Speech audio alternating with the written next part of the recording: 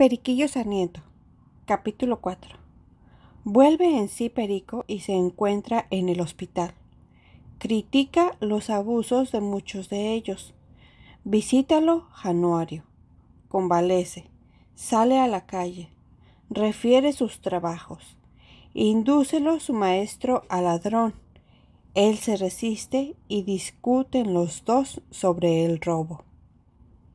Yo aseguro que si el payo me hubiera matado, se hubiera visto en trapos pardos, pues la ley lo habría acusado de alevoso, como que pensó y premeditó el hecho, y me puso verde a palos sin defensa, cuya venganza por su crueldad y circunstancias fue una vileza abominable. Pero no se quedó atrás la mía de haberle entregado a otros su dinero en cuatro albures. Alevosía y traición indigna fue la suya, y la mía fue traición y vileza endiablada. Mas, con esta diferencia, que él cometió la suya irritado y provocado por la mía, y la que yo hice no fue sino un agravio, sino después de ofrecida por él de buena gala. De modo que, Vista sin pasión, la vileza que yo cometí fue peor y más vergonzosa que la de él. Y así, si me matara en aquel día, muerto me habría quedado y con razón. Porque si no debemos dañar ni defraudar a nadie, mucho menos a aquel que hace confianza de nosotros. Casi de esta misma manera discurría yo conmigo dos horas después que volví en mí y me hallé en una cama del hospital de San Jacome, a donde me condujeron de orden de la justicia. Al poco rato llegó un escribano con sus correspondientes satélites a tomarme declaración del hecho. Ya se deja entender que yo estaba rabiando y en un puro grito. Así por los dolores agudísimos que me causaban la dislocación y fracturas como por los que sufrí en la curación, que fue un poco tosca y tomajona, como de hospital, al fin. Estar yo de esta manera y entrar el escribano conjurándome y amenazándome para que confesara con él mis pecados, y delante de tanta gente que allí había, fue un nuevo martirio que me atormentó el espíritu, que era lo que me faltaba que doler. Por último, yo juré cuanto él quiso, pero dije lo que convenía, o a lo menos lo que no me perjudicaba. Referí el hecho omitiendo la, la circunstancia del entrego, y dije con verdad que yo no conocía a mi enemigo, ni lo había visto otra vez en toda mi vida. De ese modo se concluyó aquel acto, Firmé la declaración con mil trabajos y se marchó el señor escribano con su comitiva. Como las heridas de la cabeza eran muchas y bien dadas, no se podía restañar la sangre fácilmente. Cada rato se me soltaba, y con tanta pérdida me debilité en términos que me acometían frecuentes desmayos, y tantos que se creyó que eran síntomas mortales o que bajo alguna contusión hubiese rota alguna entraña. Con estos temores trataron de que viniese el capellán, como sucedió en efecto. Me confesé con harto miedo, porque al ver tanto preparativo yo también tragué que me moría. Pero mi miedo no hizo mejor mi confesión. Ya se ve. Ella fue deprisa, sin ninguna disposición y entre mil dolores. ¿Qué tal saldría ella? Mala de fuerza. Confesión de apaga y vámonos. Apenas se acabó, trajeron el viático, y yo cometí otro nuevo sacrilegio, y conocí cuán contingentes son las últimas disposiciones cristianas cuando se hacen en un lance tan apurado como el mío. En estas cosas serían las once de la noche, yo no había querido tomar nada de alimento porque no lo apetecía, ni menos podía conciliar el sueño por los agudos dolores que padecía, pues no tenía, como dicen, hueso sano. Pero sin embargo, la sangre se detuvo y un practicante me tomó el pulso, me hizo morder una cuchara y hacer no sé qué otras faramañas y decretó que no moría en la noche. Con esta noticia se fueron a acostar los enfermeros, dejándome junto a la cama una escudilla con atole y un jarrito con bebida, para que yo la tomara cuando quisiera. No dejó de consolarme algún tanto el pronóstico favorable del mediquín, y yo mismo me tomaba el pulso de cuando en cuando para ver si estaba muy débil. Y hallándolo así y más de lo que yo quería, me resolví a la una de la mañana a tomar mi atole y mi trusco de pan, aunque con repugnancia, por fortalecerme un poco más.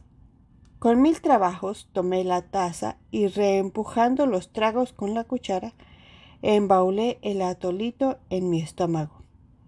Muchas consideraciones hice sobre la causa de mi mal y siempre concedía la razón al payo.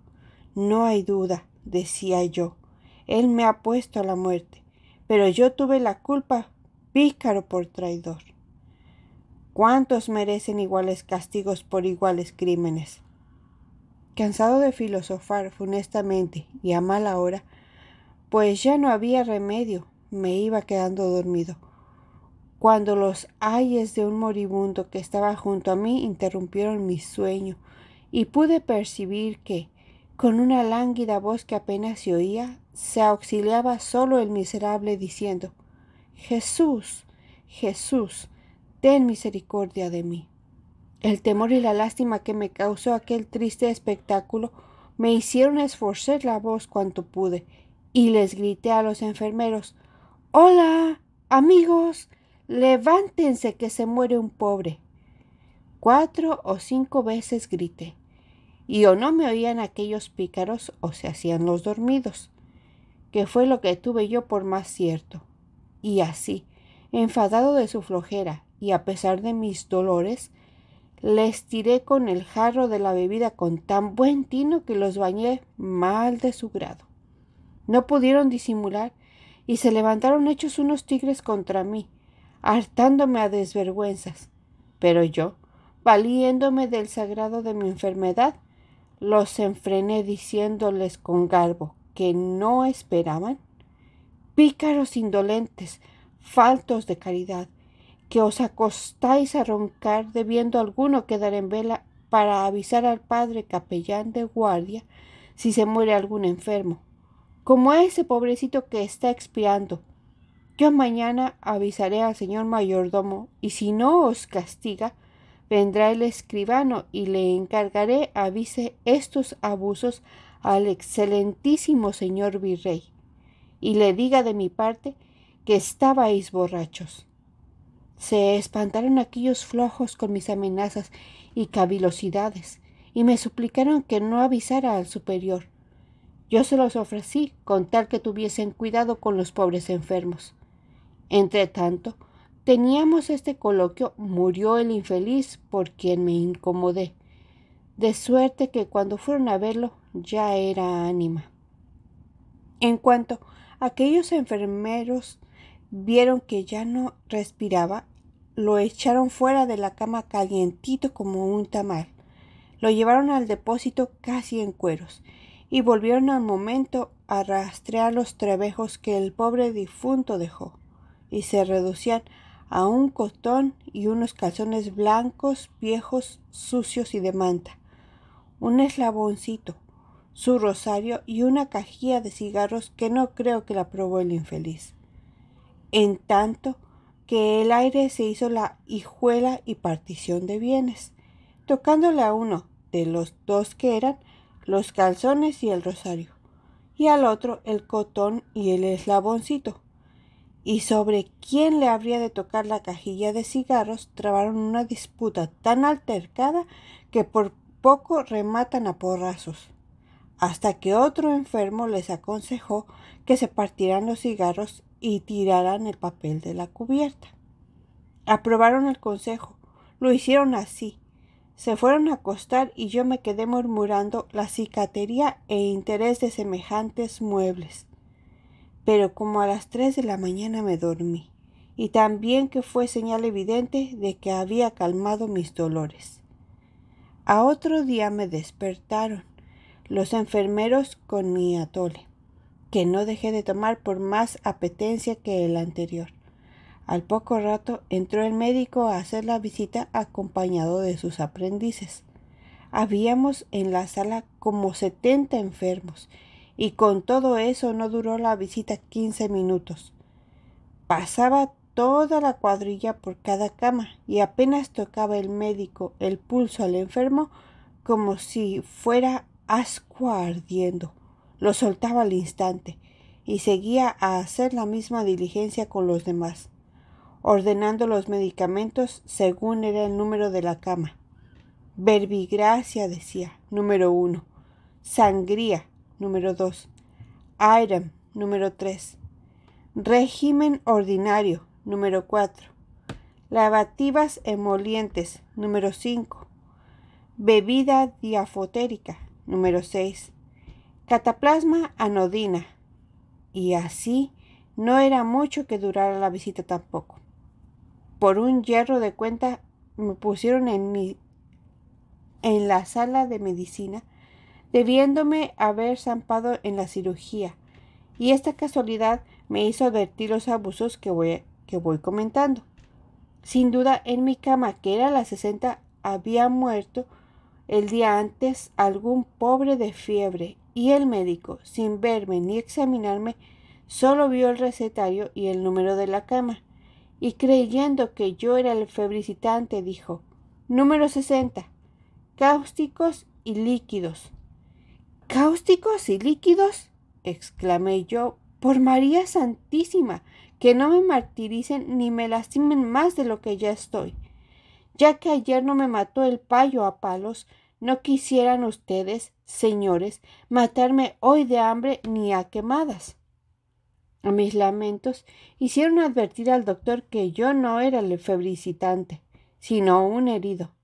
Entonces Cargándose de razón para encubrir su atolondramiento, preguntó Pues qué hace aquí? A su sala, a su sala.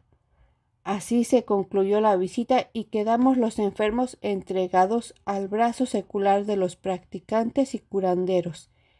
De que yo vi que a las once fueron entrando dos con un cántaro de una misma bebida, y les fueron dando su jarro a todos los enfermos. Me quedé frío ¿Cómo es posible, decía yo, que una misma bebida sea a propósito para todas las enfermedades? Sea por Dios. Después entró el cirujano y sus oficiales, y me curaron en un credo, pero con tales estrujones y tan poca caridad que a la verdad ni se los agradecí, porque me lastimaron más de lo que era menester. Llegó la hora de comer y comí lo que me dieron, que era, ya se puede considerar, a la noche siguió la cena de atole y a otro pobre del número 36, que estaba casi agonizando, le pusieron frente de la cama un crucifijo con una vela a los pies y se fueron a dormir los enfermeros dejando a su cuidado para que se muriera cuando le diera la gana. Dos meses estuve yo mirando cosas que apenas se pueden creer y que sería de desear se remediaran. Yo estaba convaleciendo cuando un día entró a verme Januario, envuelto en un zarape roto, con un sombrero de mala muerte, en pechos de camisa, con un calzoncillo roto y mugriento, y unos zapatos de baqueta abotinados y más viejos que el sombrero. Como yo no lo dejé tan mal parado, ni lo había conocido tan trapiento, me asusté pensando que había alguna gran novedad y que por eso venía disfrazado mi amigo.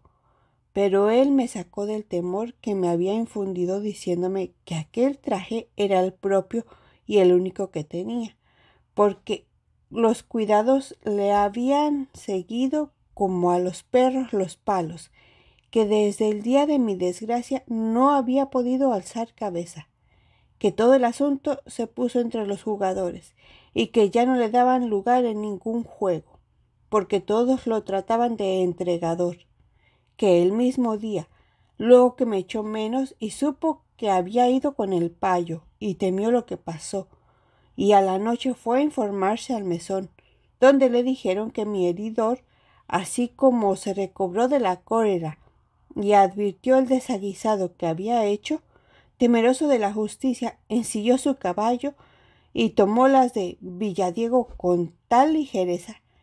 Cuando los alguaciles fueron a buscarlo, ya estaba él lejos de México, que el pícaro del compañero que apostó los albures se marchó también con el dinero sin saberse a dónde, de suerte que no le tocó el dicho Januario un real de su diligencia, que a pie y andando fue éste en busca, en su busca, hasta Chilapa, donde le dijeron que se había ido, que hizo su viaje en vano, que se juntó con otros hábiles y se fue de misión a Tixtla, pensando hacer algo porque había fiesta, pero que el subdelegado era opuestísimo a los juegos y no pudo hacer nada, que de limosna se mantuvo y se volvió a México, que dos días antes había llegado, y luego que se informó que todavía estaba yo en el hospital me vino a ver, que estaba pereciendo y últimamente que deseaba que yo saliera para que entre los dos viéramos lo que hacíamos. Toda esta larga relación me hizo Januario, y no en compendio, yo le conté el pormenor de mis desgracias, y él me contestó, Hermano, ¿qué se va a hacer? El que está dispuesto a las maduras ha de estarlo también a las duras. Así como estuviste conforme y gustoso con los pesos que ganaste, así lo debe de estar con los palos que has llevado. Eso tiene nuestra carrera, que tan pronto logramos buenas aventuras como tenemos que sufrir otras malas. Lo mismo dijera si hubiera sucedido conmigo. Pero no te desconsueles, acabo de sanar que no siempre ha de estar la mar en calma. Si salieres cuando yo no lo sepa, búscame en el arrastraderito de aquella noche, porque no tengo otra casa por ahora. Pero ni tú tampoco. Ya sabes que somos amigos viejos. Con esto me se despidió Januario dejándome en el hospital, en donde me dieron de alta a los tres días, como a los soldados. Salí sano, según el médico, pero según lo que rengueaba, todavía necesitaba más agua de calahuala y más parchazos. Más, ¿qué había de hacer? El facultativo decía que ya estaba bueno y era menester creerlo, y a pesar de que mi, mi naturaleza decía que no, tenía que escucharlo. Salí por fin, todo entelerido y entrepajado, pero ¿a dónde salí? A la calle, porque casa no la conocía, y salí peor de lo que entré, porque mis trapillos estaban malos a la entrada, pero salieron desahuciados. No sé en qué estuvo. Pobre y trapiento, solo, enfermo y con harta hambre, me anduve asoleando todo el día en pos de mi protector Januario, a cuyas migajas estaba atenido. Sin embargo, de que lo consideraba punto menos miserable que yo. Mis diligencias fueron vanas y era la una del día y yo no tenía en el estómago sino el poquito atole que bebí en el hospital por la mañana. Por señas de que al tomarlo me acordé de aquel versito que dice Este es el postre atole que en tu casa he de beber. Ello es que ya no veía de hambre, pues así por la pérdida de sangre que había sufrido como por el mal pasaje del hospital, estaba debilísimo. No hubo remedio. A las tres de la tarde me quité la chupa en un zaguán y la fui a empeñar. Qué trabajo me costó que me fiaran sobre ella cuatro reales. Pues no pasaron de ahí, porque decían que ya no valía nada. Pero por fin los prestaron. Me habilité de cigarros y me fui a comer a un bodegón. Algo se contentó, mi corazón luego que se satisfizo mi estómago. Anduve toda la tarde en la misma diligencia que por la mañana, y saqué de mis pasos el mismo fruto, que fue no hallar a mi compañero. Pero, después que anocheció y dieron las ocho, me entró mucho miedo pensando que si me quedaba en la calle, estaba tan de vuelta que podría ser que me encontraran una ronda o una patrulla y fuera a amanecer a la cárcel. Por estos temores me resolví a irme al arrastraderito, que se me hacía tan duro como el hospital mismo, pero la necesidad atropella por todo. Llegué a la maldita saurda con real y medio, pues antes me cené medio de frijoles en el camino.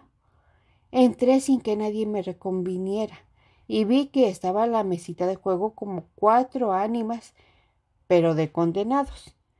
Como catorce o dieciséis gentes había ahí, y entre todo no se veía una cara blanca, ni uno medio vestido. Todos eran lobos y mulatos encuerados, que jugaban sus medios con una barajita que solo ellos la conocían, según estaba de mugrienta. Allí se peleaban unos a otros sus pocos trapos, ya empeñándolos y ya jugándolos al remate, quedándose algunos como sus madres los parieron, sin más que un maxtle, como le llaman, que es un trapo con que, cubren sus vergüenzas. Y habiendo pícaro de estos que se enredara con una frazada en compañía de otro, a quien le llamaban su valedor, abundaban en aquel infierno abreviando los juramentos, obscenidades y blasfemias, el juego, la concurrencia, la estrechez del lugar y el chingüirito tenían en aquello ardiendo en calor, apestando a sudor y hecho, ya lo comparé bien, un infierno. Luego que vieron que me arrimé a la mesa a ver jugar, pensando que tenía dinero, me proporcionaron por asiento la esquina de un banco que tenía una estaca salida y se, se me encajaba por mala parte, dejándome hecho monito de vidrio. Sin embargo, mi incomodidad no me levanté, considerando que entre aquella gente era demasiada cortesía. Saqué mediecillo y comencé a jugar como todos. No tardé mucho en perderlo y seguí con otro que corrió la misma suerte en menos minutos. Y no quise jugar el tercero por reservarlo para pagar la posada. Ya me iba a levantar cuando el coime me conoció y me dijo, ¿Usted a quién viene a buscar? Yo le dije que a don Januario Carpella, que así se apellidaba mi compañero. Rieron todos alegremente luego que respondí y viendo que yo me había ciscado con su risa, me dijo el coime, ¿acaso usted buscará a Juan Largo el entregador, aquel con quien vino la otra noche? No lo pude negar, dije que al mismo, y me contestó, amigo, pues ese no es don ni doña cuando más y mucho será don Petate y don Encuerado como nosotros. A este tiempo fue entrando el susodicho, y luego que lo vieron comenzaron todos a darle broma, diciéndole, Oh, don Januario, oh, señor, don Juan Largo, pase su merced, ¿dónde ha estado? y otras sandeces, que todas se reducían a mofarlo por su tratamiento que yo le había dado. Él no me había visto y como lo ignoraba todo, estaba como tonto en vísperas, hasta que uno de los encuerados, para sacarlo de la duda, le dijo Aquí ha venido preguntando por el caballero don Januario Garrapiña, o Garrapeña, el señor, y diciéndolo, diciéndole esto, me señaló a mí. No bien me vio Januario, cuando exaltado de gusto no tuvo su amistad expresiones más finas con que saludarme que echarse a mis brazos y decirme ¿Es posible, Periquillo Sarmiento, que nos volvemos a ver juntos? En cuanto aquellos hermanos oyeron mi sobrenombre, renovaron los caquinos y comenzaron a indagar su etimología, cuya explicación no les negó Januario. Aquí fue el mofarse y el periquearme todos a cual más, como que al fin eran gente soez y grosera. Yo, por más que me incomodé con la burla, no pude menos sino disimular y hacerme a las armas, como dicen vulgarmente, porque si hubiera querido ser tratado de aquella canalla según merecían mis principios, les hubiera dado mayor motivo de burla. Estos son los chascos a que se expone el hombre flojo, perdido y sin vergüenza. Cuando me vieron tan jovial y que lejos de amoinarme les llevaba el barreno, se hicieron todos mis amigos y camaradas, marcándome por suyo, pues según decían era yo un muchacho corriente, y con esta confianza nos comenzamos todos a tutear alegremente. Costumbre ordinaria de personas malcriadas que comienza en son de cariño y las más veces acaba con desprecios, aún entre sujetos decentes. Cátenme ustedes, ya cofrade de semejante comunidad, miembro de una academia de pillos y socio de un complot de borrachos, taúres y chucarreros, vamos que en aquella noche quedé yo aventajadísimo y acabé de honrar la memoria de mi buen padre. ¿Qué hubiera dicho mi madre si hubiera visto que yo estaba metido en aquella indecentísima chusma?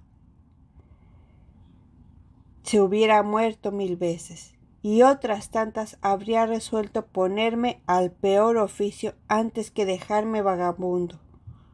Pero las madres no creen lo que sucede y aún les parece que estos ejemplos se quedan en meros cuentos, y que aún cuando sean ciertos no hablan con sus hijos. En fin, nos acostamos como pudimos los que nos quedamos ahí, y yo pasé la noche como Dios quiso.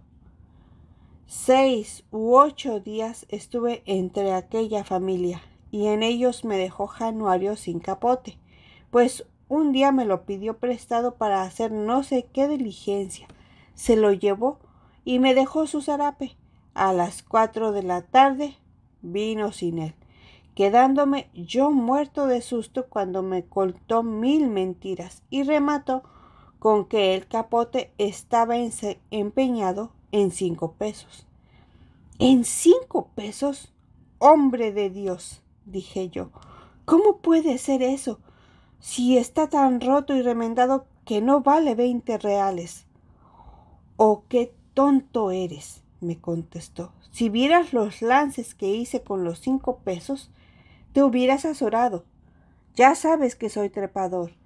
Me llegué a ver como con, yo te diré, quince y siete son veintidós y nueve, treinta y uno y doce, en fin, como con cincuenta pesos por ahí. ¿Y qué es de ellos? pregunté. ¿Qué ha de ser? dijo Januario, que estaba yo jugando la contrajudía cerrada. Le puse todo el dinero a un tres contra una sota y acababa de reventar. Le dije, vino la sota y se llevó el diablo el dinero. ¿No es eso? Sí, hermano, eso es. Pero si vieras qué tres tan chulo, chiquito, contra judío, nones, lugar de fuera. Vamos, si todas las llevaba el maldito tres, maldito seas tú el tres y el cuatro y el cinco y el seis y toda la baraja que ya me dejaste sin capote. Voto a los diablos. Ser la única alhaja que yo tenía, mi colchón, mi cama y todo, y dejarme tú ahora hecho un pilguanejo. No te apures, me dijo Januario. Yo tengo un proyecto muy bien pensado que se nos ha de dar a los dos mucho dinero. Y puede sea esta noche, pero has de guardar el secreto. Por ahora, ahí tenemos el zarape, que bien puede servirnos a ambos. Yo le pregunté qué cosa era, y él, llevándome a un rincón del cuartito, me dijo, Mira, Es menester que cuando uno está como nosotros, se arroje y se determine a todo, porque peor es morirse de hambre. Sábete, pues, que cerca de aquí vive una viuda rica, sin otra compañía que una criada, no de malos bigotes, a la que yo le he echado mis polvos, aunque nada he logrado. Esta viuda ha de ser la que esta noche nos socorra, aunque no quiera. ¿Y cómo? le pregunté, a lo que Januario me dijo, aquí en la pandilla hay un compañero que le dicen Culas el Pipilo, que es un mulatillo muy vivo, de bastante espíritu y grande amigo mío. Este me ha proporcionado el que esta misma noche entre diez y once vayamos a la casa, sorprendamos a las dos mujeres y nos habilitemos de reales y de alhajas, que de uno y otro tienen mucho la viuda. Todo está listo. Ya estamos convenidos y tenemos una ganzúa que hace a la puerta perfectamente. Solo nos falta un compañero que se quede en el zaguán mientras nosotros avanzamos. Ninguno mejor que tú para tal efecto. Con que, aliéntate, que por una chispa de capote que te perdí, te voy a facilitar una porción considerable de dinero. Asombrado me quedé yo con la determinación de Januario, no pudiendo persuadirme que fuera capaz de prostituirse hasta el extremo de declararse ladrón, y así, lejos de determinarme a acompañarlo, le procuré disuadir de su intento, ponderándole lo injusto del hecho, los peligros a los que se exponía, y el vergonzoso paradero que le esperaba si por una desgracia lo pillaban. Me oyó Januario con mucha atención y cuando hice punto me dijo No pensaba que eras tan hipócrita ni tan necio, que te atrevieras a fingir virtud y a darle consejos a tu maestro. Mira, mulo, yo ya sé que es injusto el robo y que tiene riesgos el oficio. Pero dime, ¿qué cosa no los tiene? Si un hombre gira por el comercio, puede perderse si por la labor del campo un mal temporal puede desgraciar la más sazonada cosecha. Si estudia, puede ser un tonto o no tener créditos. Si aprende un oficio mecánico, puede echar a perder las obras. Pueden hacerle drogas o salir un chambón. Si gira por oficinista, puede no hallar protección y no lograr un ascenso en toda su vida. Si emprende a ser militar, pueden matarlo en la primera campaña. Y así todos. Con que, si todos tuvieran miedo de lo que puede suceder, nadie tendría un peso, porque nadie se arriesgaría a buscarlo. Si me dices que solicitarlo de los modos que he pintado es justo, tanto como es inicuo el que yo te propongo. Te diré que robar no es otra cosa que quitarle a otro lo suyo sin su voluntad. Y según esta verdad, el mundo está lleno de ladrones. Lo que tiene es que unos roban con apariencia de justicia y otros sin ellas. Unos pública, otros privadamente, unos a la sombra de las leyes y otros declarándose contra ellas, unos exponiéndose a los balazos y a los verdugos, y otros paseando y muy seguros en sus casas. En fin, hermano, unos roban a lo divino y otros a lo humano, pero todos roban, con que así esto no será motivo poderoso que me aparte de la intención que tengo hecha, porque mal de muchos, etc. ¿Qué más tiene que robar con plumas, con varas de medir, con romanas, con recetas, con aceites de papeles, etcétera, etcétera, que robar con ganzúas, cordeles y llaves maestras. Robar por robar. Todo sale allá, y ladrón por ladrón.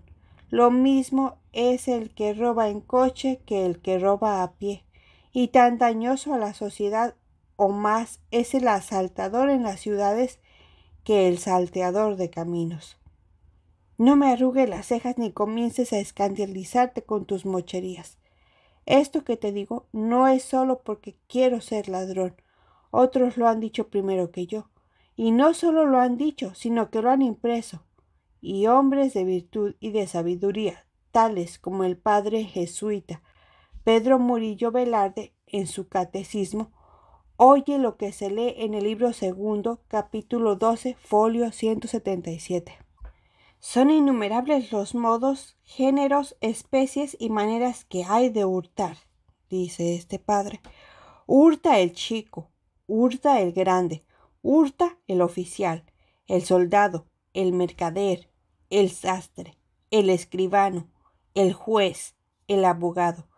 Y aunque no todos hurtan, todo género de gente hurta. Y el verbo rápido se conjuga por todos modos y tiempos. Hurtase por activa y por pasiva, por circunloquio y por participo de futuro en rus. Hasta aquí, dicho autor.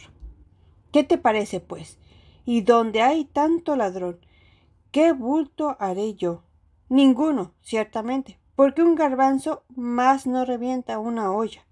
¿Tú sabes lo que se escandalizan de los ladrones y de sus robos? los de su oficio tonto. Estos son unos peores enemigos.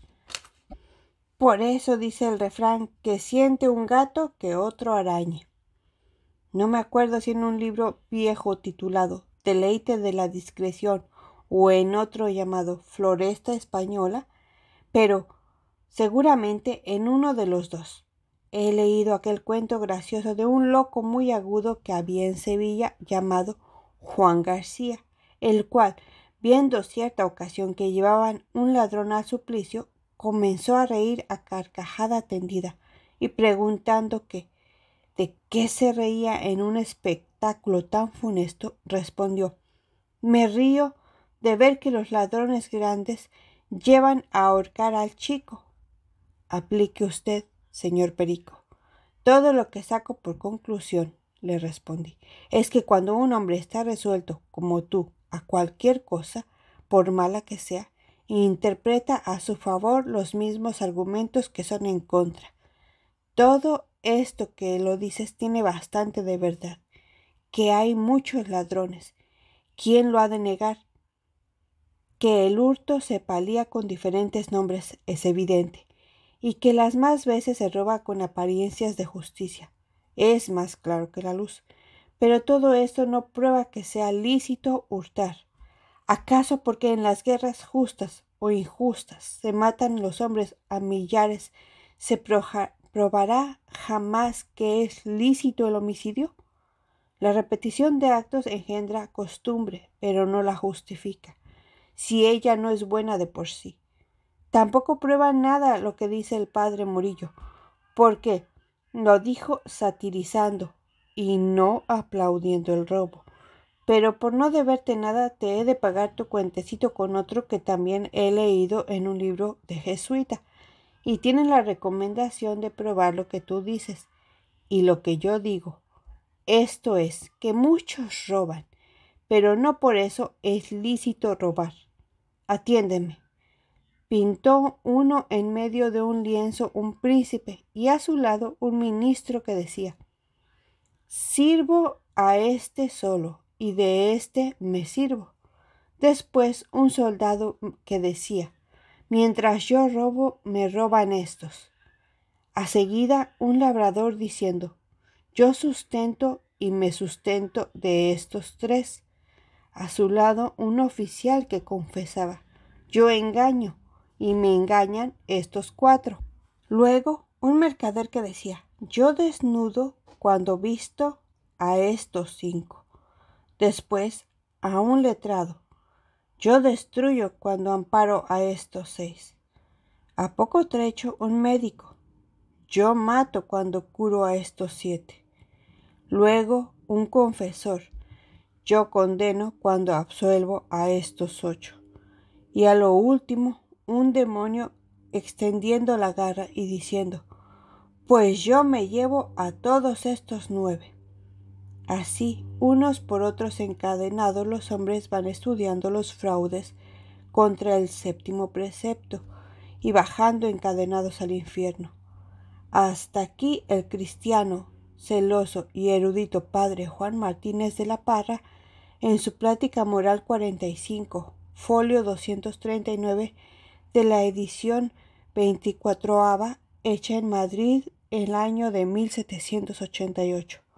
Con que, ya ves, como aunque todos roban, según dices, todos hacen mal y a todos se los llevará el diablo, y yo no tengo ganas de entrar en esa cuenta.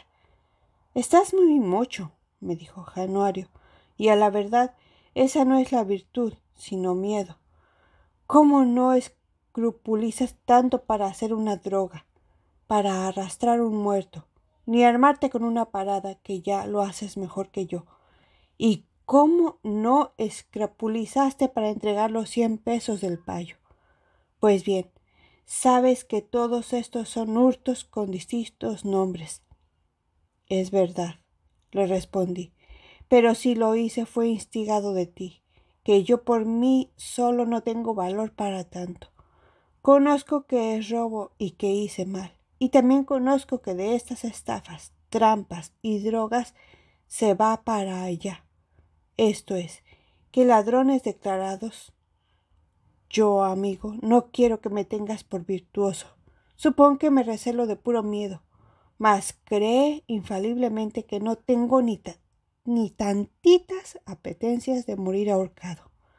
Así estuvimos departiendo un gran rato, hasta que nos resolvimos a lo que sabréis si leéis el capítulo que viene detrás de este.